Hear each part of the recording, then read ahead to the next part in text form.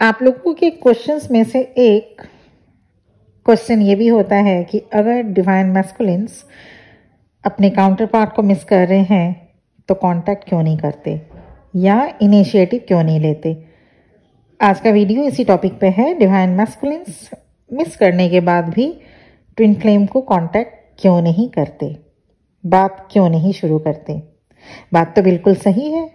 If they are missing their divine feminine तो contact ना कर पाने की क्या वजह हो सकती है? वीडियो को शुरू करने से पहले मैं रूपाली। आप सबका, आपके अपने चैनल एसेंशन में बहुत बहुत स्वागत करती हूँ।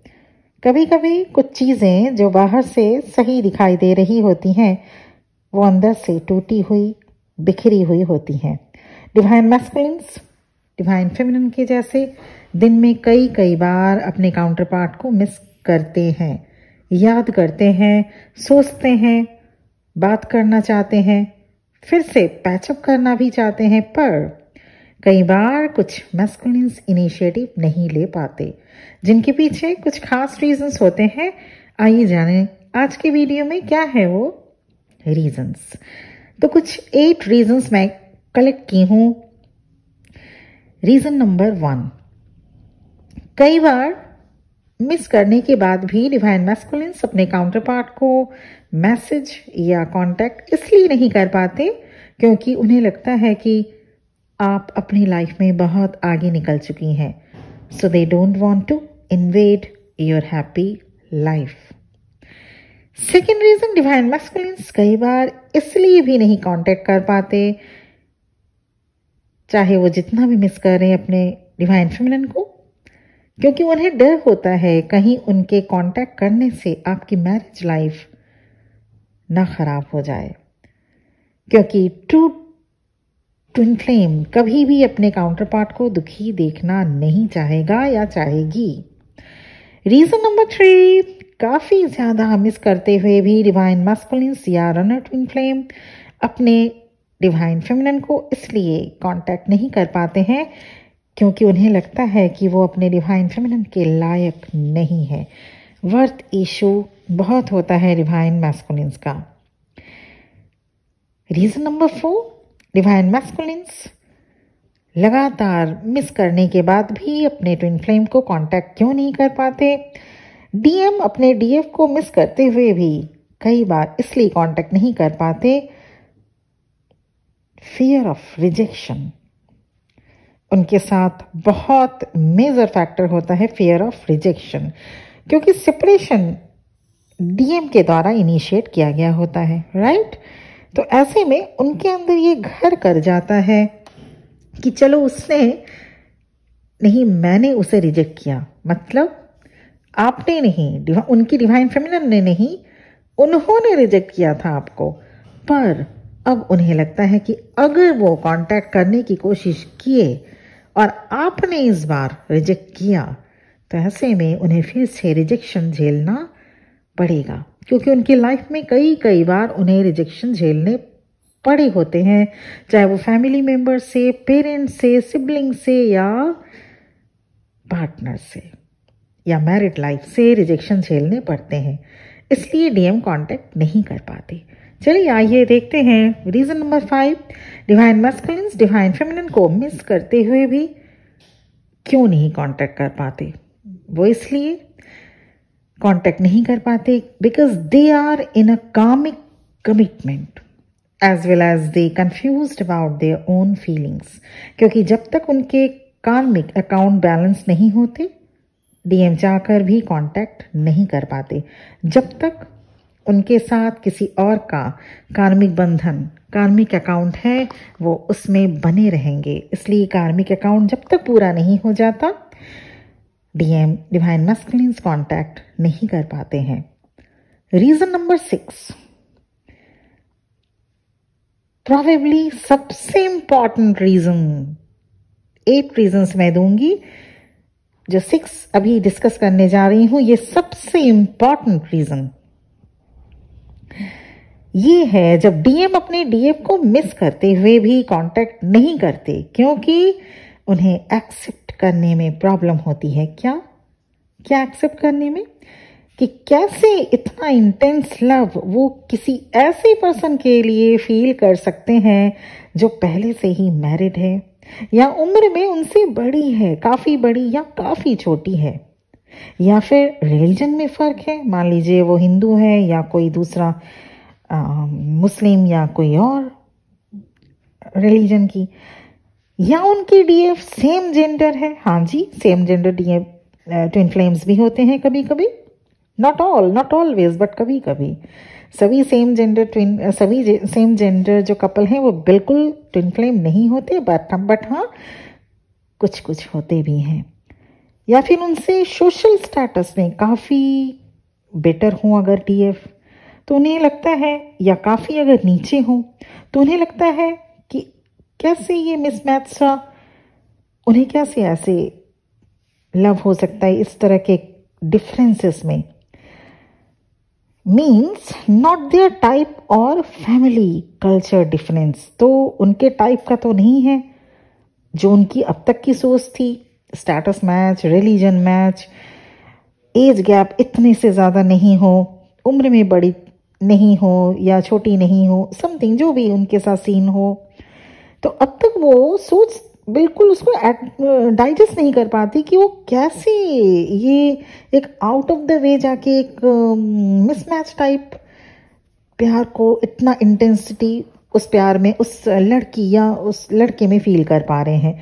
तो इसलिए वो अपने आप को रोकने की कोशिश करते हैं, चाहे इतना इंटेंस प्यार है, लेकिन वो समझना ही अपने माइंड में समझना नहीं चाहते कि ऐसे कैसे, मान लीजिए उनकी डीएफ मैरिड है, किसी और स्पाउस से तो उनको हमेशा ये लगेगा कि कैसे वो किसी मैरिड पर्सन से मैरिड लेडी या मैरिड जेंटलमैन से प्यार कर सकते हैं, क्योंकि आज तक तो उन्होंने अपने दिल में कभी ये बात सोचा नहीं था कि वो मैरिड से प्यार करेंगे। तो ये चीज़ सबसे इंपॉर्टेंट रीजंस में से एक है। रीजन नंबर सेवन डीएम अपने डीएफ को मिस करते हुए भी कांटेक्ट का इनिशिएशन इसलिए नहीं कर पाते because they don't want to get into longing craving feelings as they contact as they cannot handle the intensity क्योंकि उन्हें डर होता है कि शायद वो फिर अपनी लाइफ नॉर्मल वे में लीड नहीं कर पाएँगे। क्योंकि सेपरेशन उन्होंने कॉल किया सेपरेशन जैसे ही हुआ, वो जैसे तैसे अपने आप को मैनेज कर लिए। चाहे जित, कितना भी मिस कर रहे हैं अपने डिवाइन फेमिनिन को, अपने काउंटर पार्ट को, लेकिन वो फिर से बैक ऑफ़ द माइंड एक डर उनके माइंड में रहता है कि फिर से वही लॉन्गिंग फिर से वही परेशानी, फिर से वही क्रेविंग फिर से वही वर्नबिलिटी फिर से वही ओवर इंटेंसिटी कैसे मैनेज कर पाएँगे अपने वर्क प्लेस में भी? मान लीजिए काम वो अगर बिज़नेस करते हो जॉब है या फैमिली उनकी है तो वो डर जाते हैं कि नहीं, अब जब दूर हो ही गए हैं तो दूर ही रहे।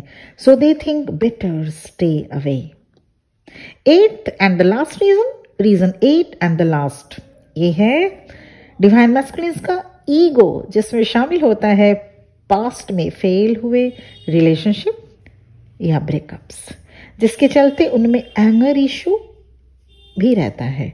डीएम को लगता है कि अब तक जितने भी रिलेशनशिप में वो ख़राब हुए, उनके जितने भी रिलेशनशिप ख़राब हुए तो ये भी ख़राब ही हो जाएँगे।